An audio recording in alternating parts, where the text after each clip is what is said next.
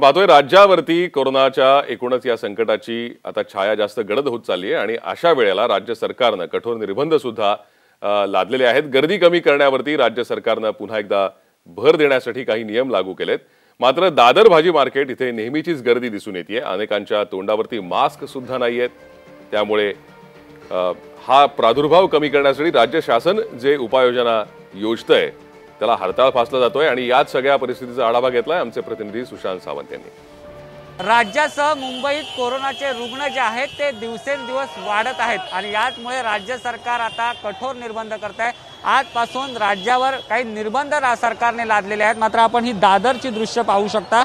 ही दादरची सकाळची दृश्य आहेत इथे ज्या पद्धतीने आपण गर्दी बघताय काहींच्या तोंडावर देखील इथे मास्क नाही आहे त्यामुळे राज्य सरकार एकीकडे कोरोनाचे राज्यावर संकट असताना राज्य सरकार निर्बंध लावत आहे त्या त्याच वेळी आपण बघतोय लोकांमध्ये देखील हा हलगर्जीपणा जो आहे तो पाहायला मिळतोय. अनेकांच्या तोंडावर मास्क नाही आहे इथे.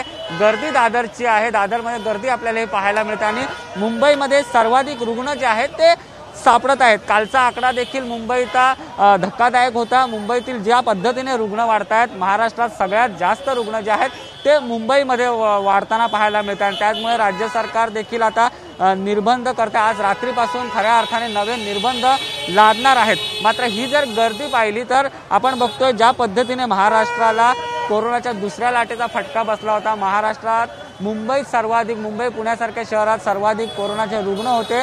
आणि आत्ता देखील तिसरी लाट जी येते आहे त्यामध्ये देखील मुंबईत मुंबईमध्ये सर्वाधिक रुग्ण सापडतात आणि ही मुंबईची परिस्थिती आहे. त्यामुळे आता एकीकडे राज्य सरकार कुठेतरी निर्बंध लादला लादत असताना आता लोकांनी देखील जागृत होणं तितकंच गरजेचं आहे. कॅमेरामॅन अरविंद सह सुशांत सावंत साम टीव्ही मुंबई.